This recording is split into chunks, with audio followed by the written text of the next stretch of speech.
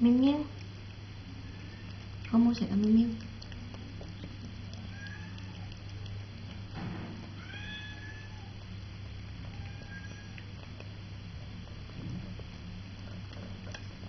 Ủa cũng đầy vò hả?